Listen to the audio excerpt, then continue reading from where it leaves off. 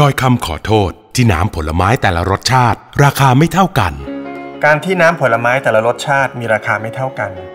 อาจทำให้ผู้บริโภคสับสน ที่เราตั้งใจให้เป็นแบบนี้ เพื่อให้ผู้บริโภคได้ซื้อน้ำผลไม้ในราคาที่เป็นธรรม และยังได้ดื่มน้ำผลไม้ตามราคาของผลไม้นั้นจริง ๆ ซึ่งเราเห็นว่าจะเป็นธรรมกับผู้บริโภค และยังเป็นวิธีที่จะส่งต่อรายได้ถึงเกษตรกรอย่างเหมาะสม